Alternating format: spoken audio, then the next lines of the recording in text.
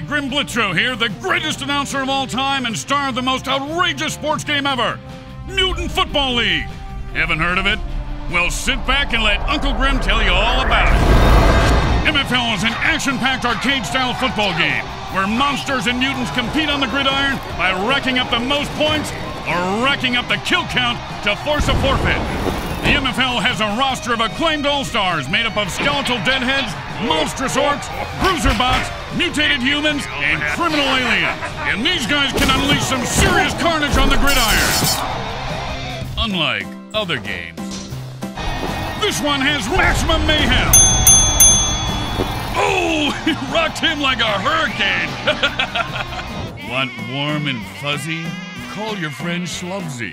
But if you want chainsaws, we've got them. Want shotguns? Got those too.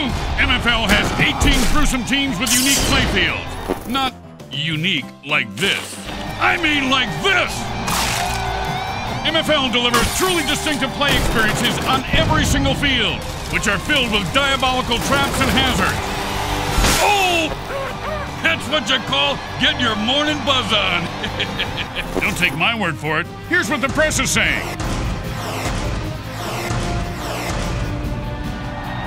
So if you're tired of playing the same game and looking for something new, so don't just sit there looking at the screen, dummy. You know you want it, so go get it. Turn on and tune in.